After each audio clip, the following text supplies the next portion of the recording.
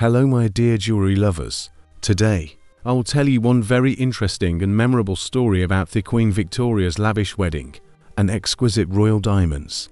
One of the most loved and revered rulers occupied the throne for over 60 years. At just 18, the young Princess Victoria had to take her place on the throne. At the age of 20, she married her own cousin, whom she loved with all her soul.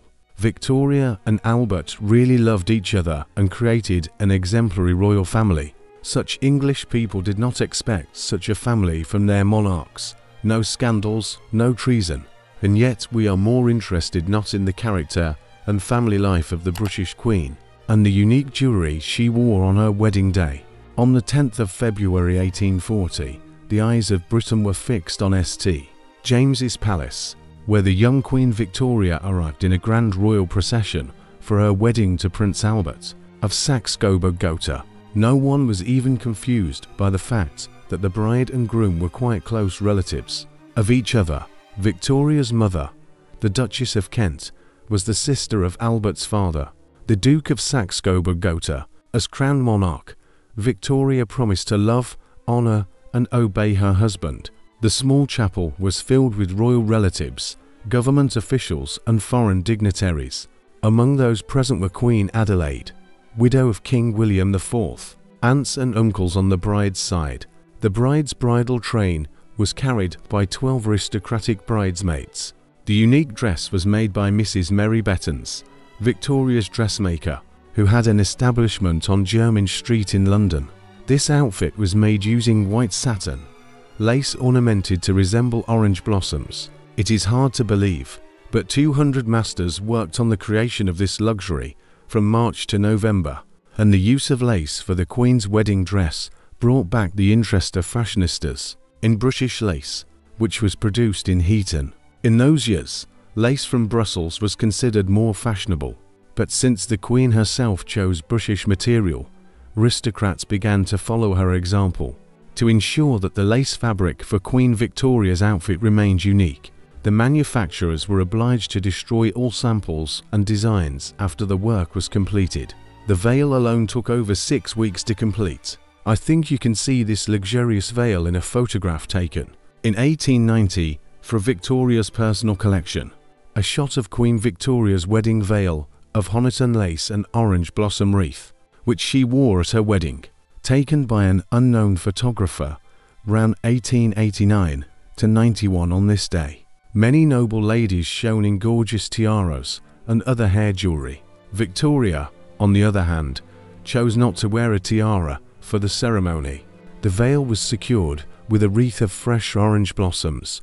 The dress was also pinned with orange blossoms. She set the fashion, and soon many ladies were choosing orange blossom patterns. It seems to me that the Queen was partial to these flowers. Just a year before her wedding, Victoria's future husband presented her with a brooch in the form of an orange blossom as an engagement gift. Over the years, he added many pieces of orange blossom jewelry to her orange collection. In December 1845, he gave her a brooch and a pair of earrings, and in February 1846, he presented her with a tiara as a wedding anniversary gift. It also had flowers on it, four flowers representing the couple's four eldest children. Each year, Victoria would wear orange blossom jewelry for their wedding anniversary. Sadly, photography was still rare at the time of the wedding when Victoria and Albert married in 1840. However, there are many pictures of the wedding ceremony, and these can be viewed in great detail. Each of these pictures is slightly different. For example, in the stylized illustration above, the orange blossoms have been replaced by a laurel wreath but it shows the two pieces of diamond jewelry that the Queen wore to the ceremony. The necklace and earrings were a gift from the Sultan of Turkey, presented to the princess on the day of her coronation. Both pieces of the set were made by the jewelry house of Rundell and Bridge and set with diamond rosettes. Seven years after the occasion, Queen Victoria commissioned a portrait of herself in her wedding attire as a wedding anniversary gift for Prince Albert. The picture was painted by her favorite artist, Franz Xaver Winterhalter. The portrait was completed in 1847. It was placed in the prince's private apartments at Windsor Castle. Interestingly, the portrait shows a piece of jewelry that is not in the other paintings from the wedding, a diamond and sapphire brooch that Albert had given her the night before. In George Hayter's painting, instead of a brooch, there is an orange blossom attached to the Queen's corset. There is no mention of the brooch in the newspapers that describe the wedding day. There is, however, a mention of the gift in Queen Victoria's diaries. Queen Victoria was an extremely sentimental person, and this portrait was not the only one that repeated the wedding image.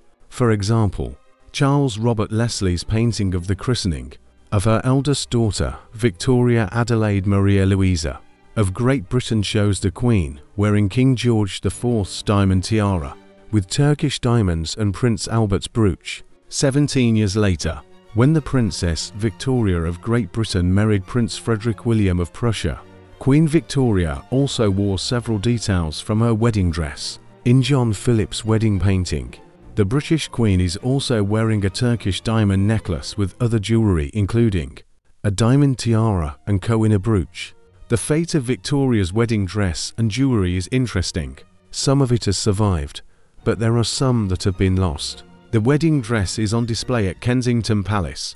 There you can also see a wreath of orange blossoms, which was given to her by Albert, resembling the original one. Queen Victoria's wedding dress has undergone serious conservation and is on display. At Kensington Palace her wedding ring and wedding veil were buried with the Queen.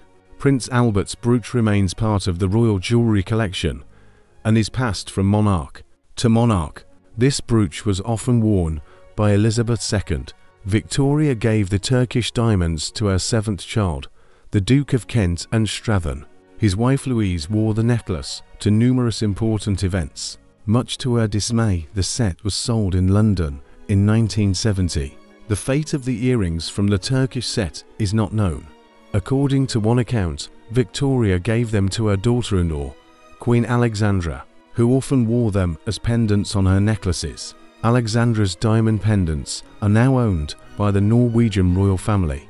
Queen Sonja wears them as earrings. I think these earrings are very reminiscent of those worn by Queen Victoria, but whether they are this one or not is another story. Would you like a lavish wedding like this? Write in the comments. Thank you very much for watching. I am happy to try for you. Please put please like, subscribe to the channel write comments, it gives me the motivation to continue to please you. Also what would you like to see a video about? Write in the comments.